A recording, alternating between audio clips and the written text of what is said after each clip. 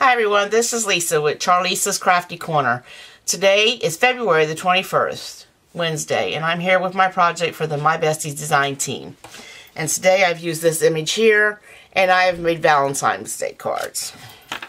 So I made these little ones here, and I used my Copic markers, um, some glitter gel pens, and some Spectrum Noir Shimmer. And on the inside, it just says Happy Valentine's Day. I also made these little envelopes to go with them. And here's this one. Here's this one. And here's this one.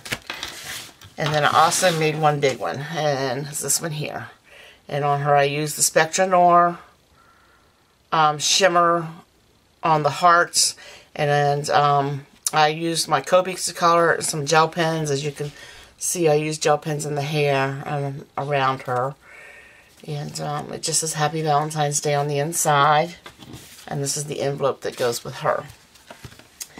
If you have any questions or comments, please leave them down below. Thank you for watching and have a blessed day.